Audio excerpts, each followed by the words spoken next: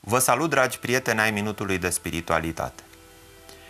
Sunt Ștefan Pușcă și continuăm astăzi cu serialul nostru despre mindfulness și emoții. Astăzi vreau să vă spun câteva cuvinte despre emoții care ne istorisesc ceva despre noi. Câteodată în viață, un cuvânt, un gest sau o emoție ne pot declanșa o emoție și mai profundă în noi. O emoție care să nu mai poată treacă, trece neobservată și să ne tulbure.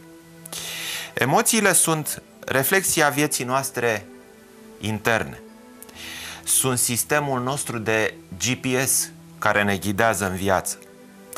Dacă ascultând pe cineva cu care stau de vorbă mă simt indispus, înseamnă că acel mesaj a, trăi, a trezit în mine emoții neplăcute, de care trebuie să țin seama pentru a înțelege ce se întâmplă nu în cealaltă persoană, ci în sufletul meu. La mine ar putea fi problema. Din partea mea este mesajul.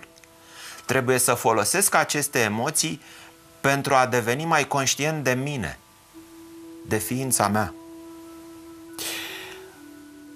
Comunicând apoi în conștiența propriilor emoții cu acea persoană, vom declanșa un proces de rezonanță. Relația se va îmbunătăți, voi reuși să comunic cu sinceritate și îl voi face și pe celălalt să, deschi- să se deschidă în raport cu mine. Și așa se pun câteodată bazele unei prietenii. Vă doresc o zi minunată, sunt Ștefan Pușcă și vă aștept mâine cu plăcere la următorul minut de spiritualitate.